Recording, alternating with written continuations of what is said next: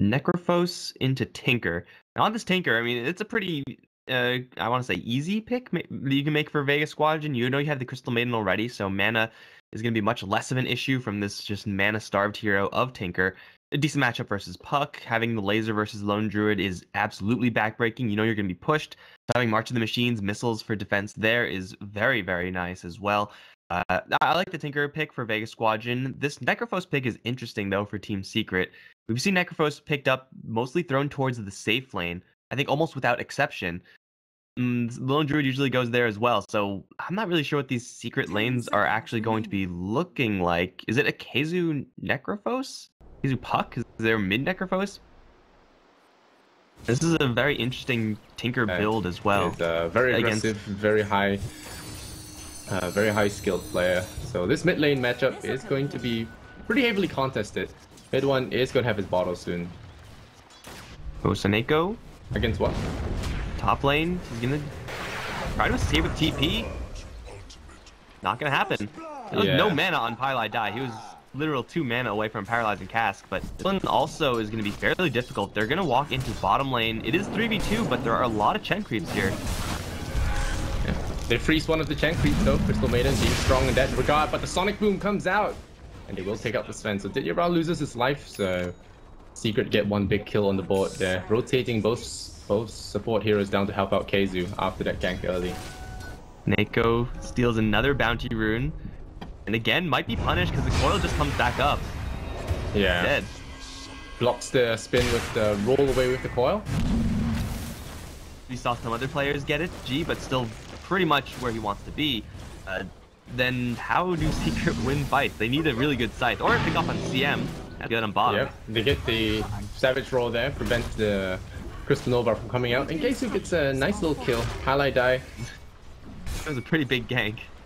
Yeah, they have to reap the Scythe as well, so getting put in the ground for extra time. No, no, they're gonna decide to pick off the Darkseer instead. So Didier might survive, but MP, he will be able to squeeze out some bit of farm.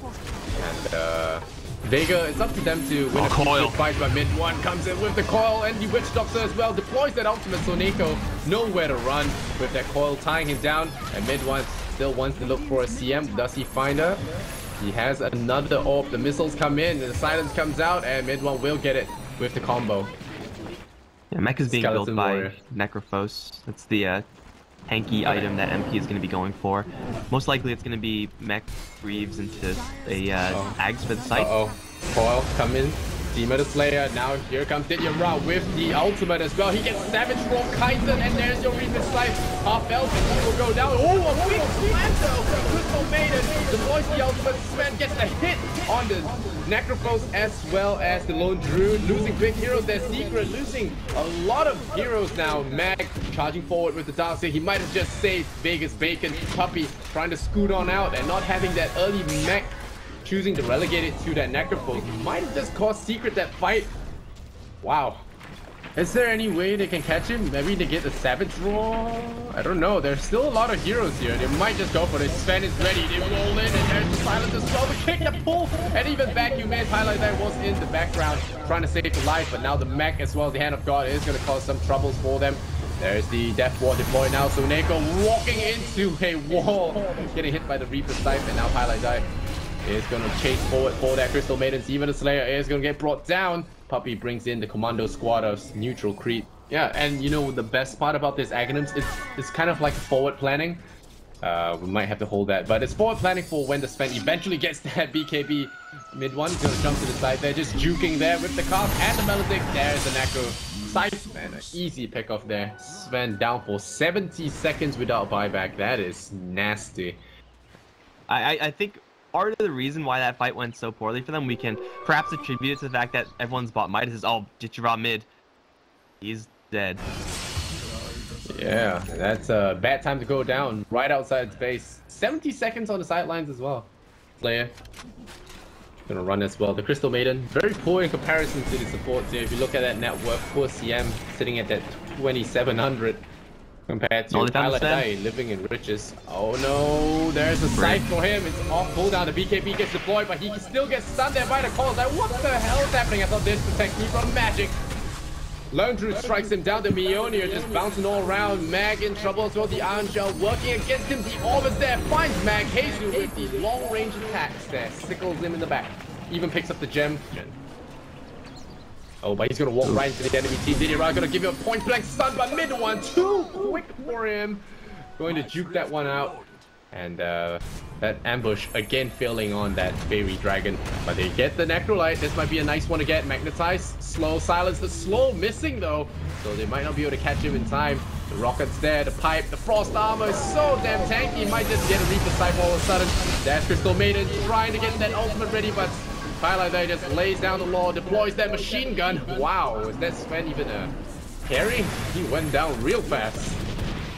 You know your game is messed up when like the hero you're scared of the most 40 minutes in is the enemy almost level 25 witch doctor. That, that is just so messed up, man. Everyone else on Secret, they're just kind of getting space created for them because of Pieliedie's farm.